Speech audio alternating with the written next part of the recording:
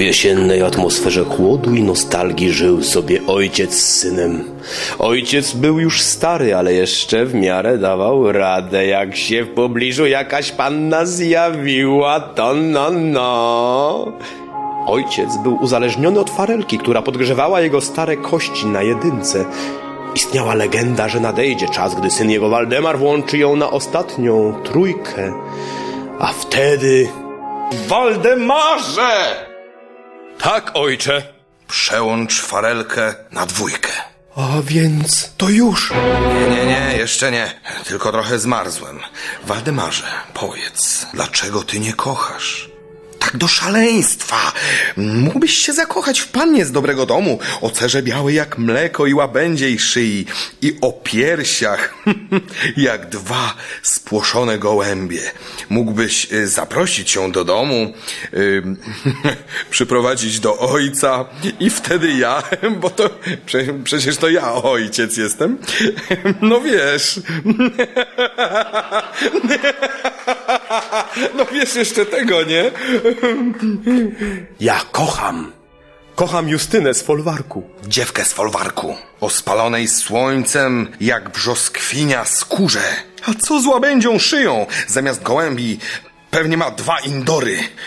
Kimże ona? Justyną. Do szaleństwa ją kocham uczuciem, chcę z nią związać życie w węzeł małżeński. Nie pozwalam! Miłość na ludowo? Tak. Ale nie w naszym domu! Ojcze, błagam! Ojcze, czyż nie dane nam jest kochać ludu naszego, który jest nam oddany ze wszech miar? Dla nas kaja się i pracuje, choruje i żyje w ubóstwie, czyż nie dane nam jest ich kochać? A skoro Justyna z ludu pochodzi, to mogę ją kochać, czyż nie? Postawiłeś mnie w trudnej sytuacji. Odejdź już, bo nie mam zupełnie pojęcia, co ci odpowiedzieć. Justyno, Justyno, chodź do mnie.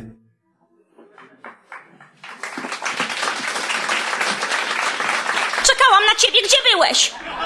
Od razu te twoje pytania. Próbujesz mnie osaczyć, nie osaczaj mnie! To mnie postarza! Co się dzieje? Jesteś jakiś zdenerwowany. Nie, tylko, tylko ojciec. Ach, a więc ojciec cię zatrzymał. Chcesz mnie zostawić? Chcesz, żebym sobie poszła daleko, daleko tam ło. Justyno, nie płacz, bo się odwodnisz.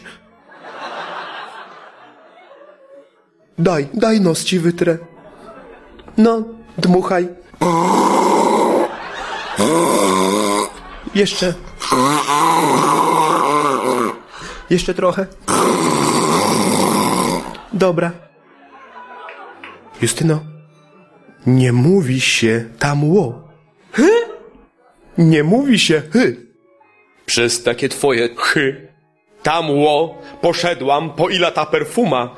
Postawiłem ojca w trudnej sytuacji. Kurwa, to już nie można sobie błędu zrobić?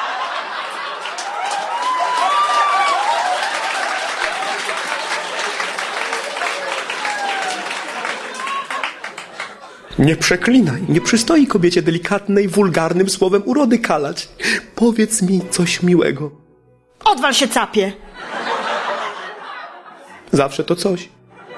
Pocałuj mnie. Proszę? W co?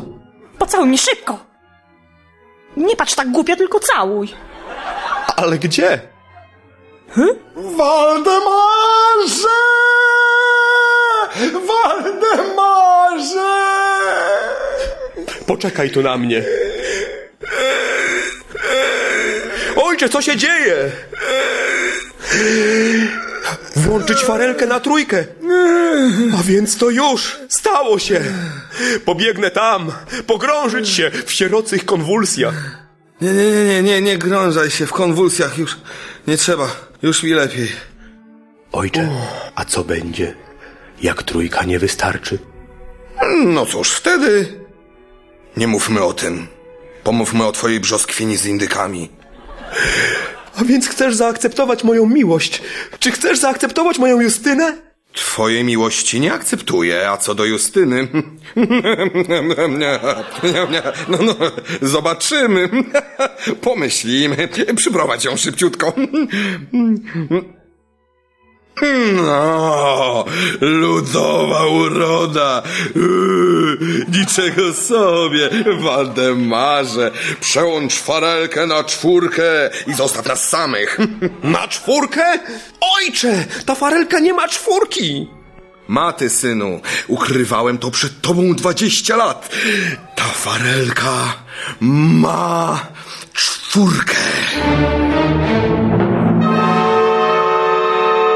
Wybacz staremu ojcu yy, i najlepiej zrób to w sieni. Yy, Zamiłowanie do piękna ludowego i czwórka w farelce. Uuu, rozgrzały moją krew. Po prostu odejdź na jakiś czas i o nic nie podejrzewaj tatusia. Justyno, będę tęsknił za tobą w sieni. Waldemarze, czy twój ojciec... Tak, tak. Słodzi, ale nie miesza. Ja kocham Waldemara. Czego pan chce? Justysiu, daj całuska. Jest pan obleśny. No wiadomo, ale daj. Dobrze, zrobię to dla Waldemara, bo go kocham.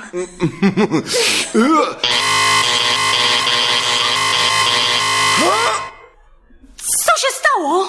Farelka nie wytrzymała obrotów i zrobiła zwarcie. Ojcze! Ojcze, ty umierasz! On coś chce powiedzieć. Może chce nas pobłogosławić. Nie, nie, nie, nie, błogosławić nie. Synu, pamiętaj, synu, nigdy nie kupuj na bazarze od... A, Od? Ojcze, od? e, od ruskich.